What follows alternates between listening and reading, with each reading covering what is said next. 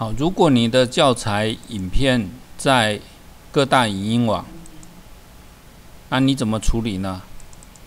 你可以选择把网址复制下来，在新增你的资源的时候，选择网址资源。好，这边就请输入你要的。我们先把网址贴上去。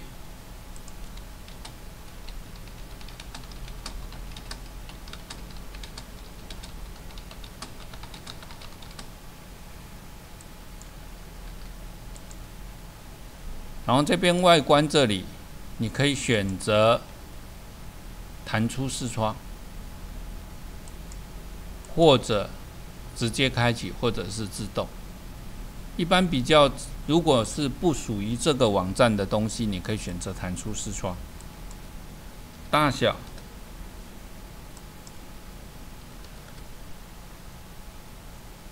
好，做完直接返回课程，我们来看一下，这样它就会。弹出一个视窗，让你去看你的网站网址。好，这是属于我们网站如果是网址连接的方式。